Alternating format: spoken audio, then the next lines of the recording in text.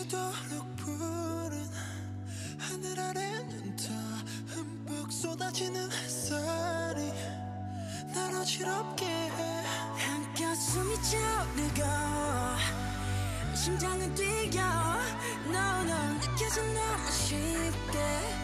살아있다는 걸 No no 슬픔이 날 지워도 먹구름은 또 끼고 나 끝없는 꿈속이어도 한없이 구겨지고 나에게는 지켜지고 언젠가 내가 내가 한 이게 된다 할지라도 괜찮아. 오직 나만이 나의 구원이잖아. 못된 걸음걸이로 절대 죽지 않고 살아. How you doing? I'm fine. 내 하루는 my god. 모든 아픔들이여 say goodbye.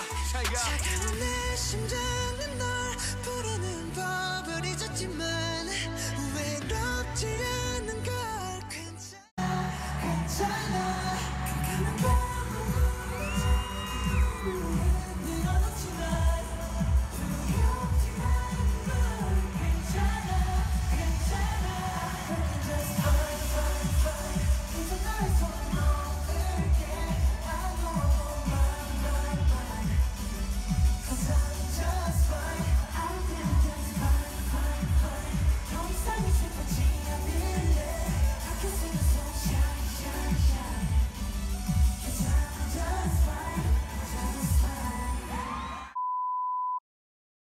So this is kind of going to be like a New York BTS wrap up haul thing. It's it's a thing. As you guys might be aware of if you follow me on Twitter or Instagram, I was in New York this month and basically I didn't get tickets to see BTS in London. Like, I didn't even make it out of the freaking waiting room. So obviously I was gutted that I didn't get BTS tickets for London. But then they announced the Citi Field date for New York. Everyone is really like, oh my god, you went to New York just to see BTS. Basically, first of all, I've always wanted to go to New York anyway. Second of all, yeah, I did want to see BTS. Third of all, the cost of the flights, hotel, and the ticket for BTS pretty much came to what it would have cost for the cheapest ticket that was on a resale site. So all of the New York thing altogether was cheaper, believe it or not. So yeah, we flew out on shit, what day was it? So we flew out on the 5th of October. We had a 2 something from Heathrow Airport. Um, anyway, our flight got into JFK at like 4 or 5 o'clock or something. We survived on the metro, didn't get lost. We made it to Times Square using the metro. We rushed from the station, however many blocks, to make it to where BT21 was. There was a little bit of a queue. It wasn't too bad. I honestly I don't know how long we were waiting there. It didn't feel like long. It was freaking insane in there. Freaking insane. Like there was a queue to get in and then you were queuing like down one side of the store. Most stuff had sold out. I feel like the New York store should have been more prepared because BTS were doing a concert that weekend and everything sold out. But yeah, I had a list of stuff to get. Both stuff that I wanted and stuff that my mum wanted because she's a BTS fan too. So yeah, let's start with the BT21 haul. I got myself this little Tata headband. Obviously, it had to happen. I got this to wear at the concert, the Tata headband, and I got the Koya hair tie for the same reason because I was going to wear it on my wrist like a bracelet because why not? I also got myself the Chimmy plush doll keychain. I got myself the Tata socks. I was gonna get every single character in these socks, but like Tata was literally the only ones that they had. So his were the only ones that I could get. Honestly, I'm looking at this BT21 haul, like what took up so much space in that case, Christ. You guys may or may not be aware that they released the Halloween BT21 range not long before I went. It was crazy, it kept selling out, and when we were there, as we were heading to pay, they brought out boxes of the plushes, and so I grabbed myself Mang, little Franken Mang, and I grabbed myself RJ in his little hoodie cape thing. I think he's a vampire. Or maybe he's just a cult member, I'm not sure. I would say he's the Grim Reaper, but he doesn't have a scythe. So, now you may be thinking, wow, you only got two of the Halloween plush. That is an excellent show of self restraint. I am proud of you. No. I have all seven of them. Mm-mm. I was pretty convinced that when we got to New York, they weren't going to have any of the Halloween plush in stock. Plus, it was the whole issue of fitting them into my suitcase. So, a very nice girl on Twitter bought five of them for me. I wasn't going to buy RJ and Mang, but then they had them at the store, and I felt bad that they were the only two that I didn't have.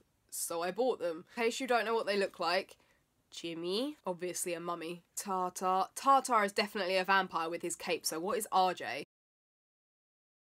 Shooky is a little bat with horns. Cooky is a little skeleton. This one's so cute. And Koya also has wings and horns. Anyway, um, yeah, and then the final item that I got from BT21 was the RJ sleep mask. I got the giant red bag with Van on one side and Tata on the other.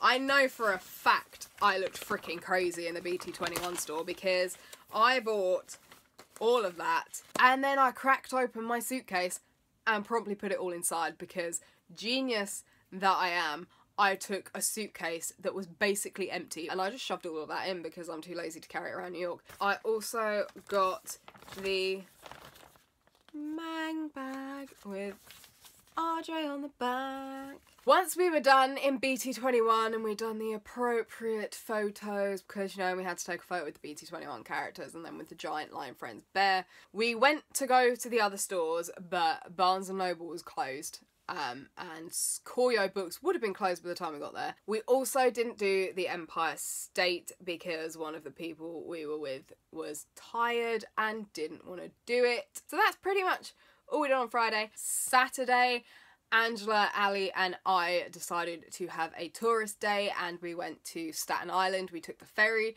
we found a really cool pizzeria, and we had real New York pizza, and it was super cheap, you guys. It was like a couple of dollars, like $2 or something. I think it was $2 or like a dollar something for one slice, and it was like a pretty big slice. It was so good.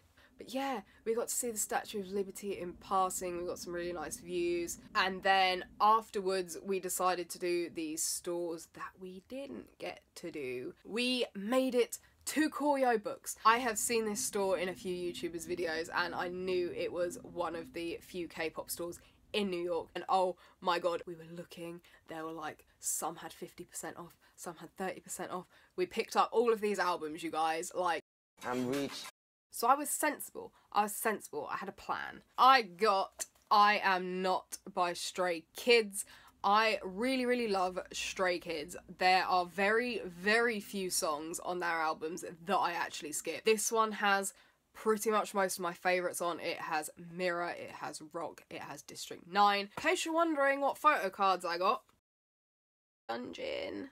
Baby Han! Mate, he's braver than I am because I would not, I would not have photos from when I was in school in an album. Hey! And the CD is there. I also picked up a BAP Unplugged. Buying albums was pretty new to me. And so I only had the one BAP album when I left New York, and I really wanted to pick up a couple. So I really wanted to get BAP's Noir album, but they didn't have it and so I struck out on that front. So I was trying to decide which other album to get, and I picked up this one because if you guys don't know, they filmed the music video for one of the songs on here in London. Cover photo, London. The back photo, London. The CD, London. Oh, bad glare. But I got Yongguk. They do have a little photo book in there. The other two albums that I got are Monsta X albums because I didn't have any up until this point and I couldn't resist buying some. So I picked up Monsta X's The Clan Part 1 Lost, the CD, and the photo book, group photo card.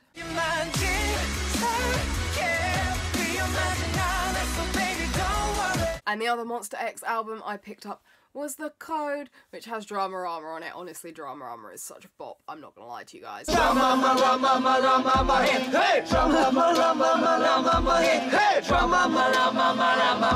it has Dramarama on it, now or never, in time, from zero. I freaking love from zero. Open it, and you see all of their little faces. And then there's a little booklet of Jooheon. CD has Minhyuk, Minhyuk, Minhyuk on it.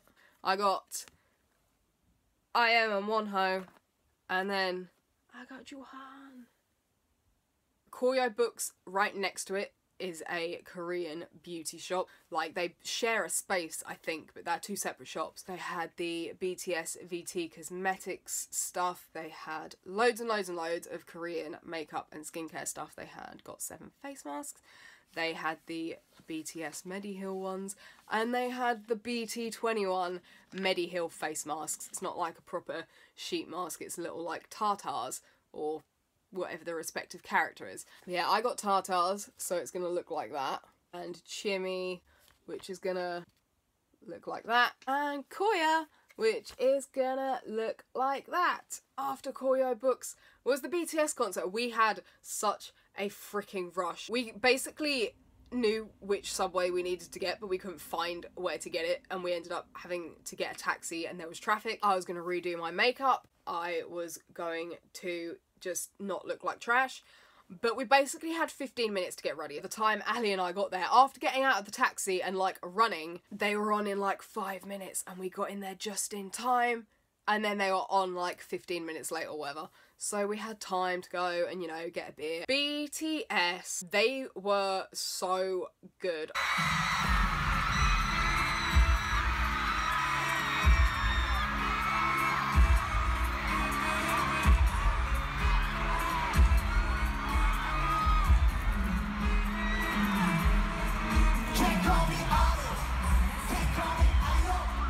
I loved the set list, obviously. It has a load of my favourites on it.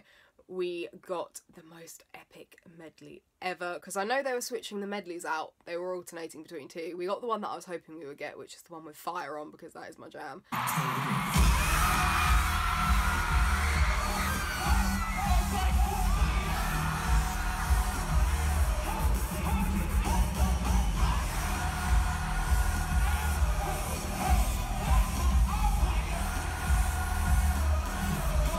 So good. Ali and I, we did not cry. We were just, you know, jet lagged, tired, and we'd had a beer. That's what we're going with.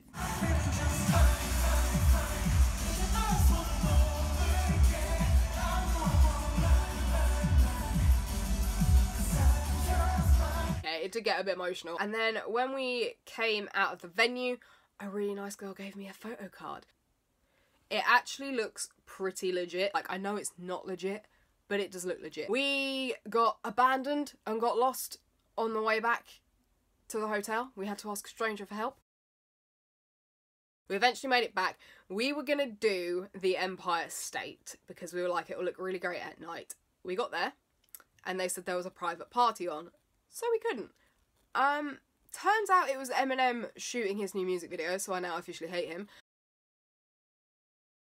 So we couldn't do that, and we kind of wandered Times Square a bit and got food. Sunday was our final day. We basically tried to fit in everything else that we couldn't. Went to do the Empire State Building. Um, basically, the visibility wasn't that great, and loads of people were going up and coming straight down. And I was like, do I want to pay $37 to not be able to see anything?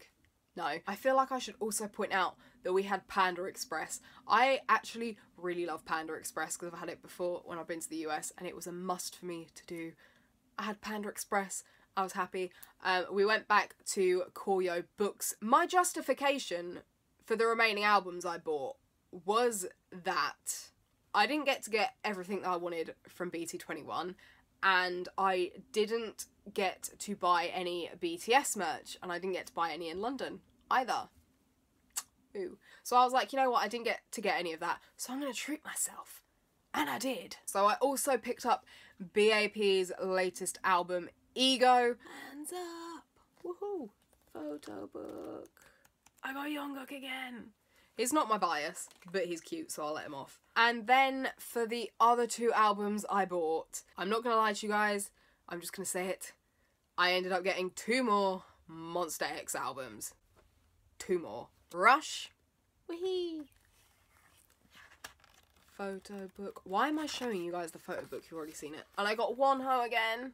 And I got The Clan Part 2. And again, I got Wonho. But that is not all because seven albums were just not enough. Outside the BT21 store, there was a stand. I wasn't planning to buy BTS albums, but these were only $20 each, and I couldn't resist. I did the thing. Oh, are you late too? Which has such bangers on it, like Attack on Bangtan.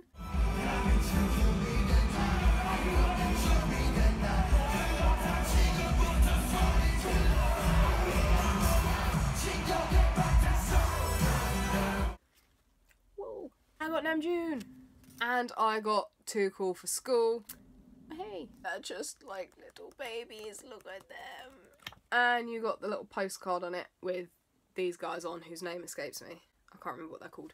Baby BT21 characters. The lady behind the stall was trying to get me to take a free poster, but you know, trying to get a poster on a plane was going to be really difficult without it getting damaged. Posters aren't really my thing anyway, so I couldn't take the poster and I explained I couldn't take the poster because I was going back to London. And so she handed me this Jimin keychain. I thought that was really nice of her and I wasn't expecting her to give me one. And she gave me Jimin too, who is my bias wrecker, so she must be psychic. But yeah, so I bought a lot of K-pop stuff, CDs, merch, stuff in New York. So, as for BTS London, I had some insane luck. I managed to get two standing tickets for the 10th, and I won one of the express passes for the studio.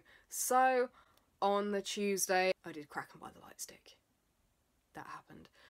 I picked Tay, and I got my photo. I look absolutely terrible in that photo because it's from my bad side and I literally look like the undead. We got back, finally got home, bought these tickets for the 9th, face value, went straight back up. Oh,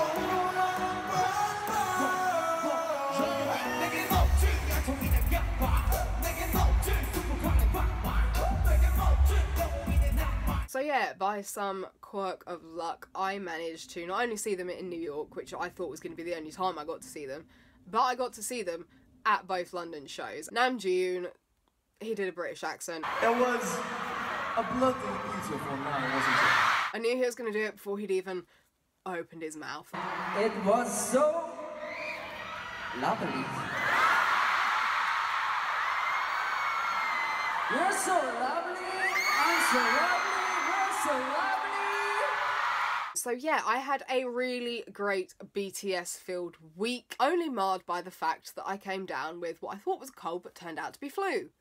Yay! So that has been my New York slash BTS wrap up and haul. I hope you guys enjoyed this video. I will link all of my social media down below so you can come say hi to me on Twitter and I'll see you guys next video.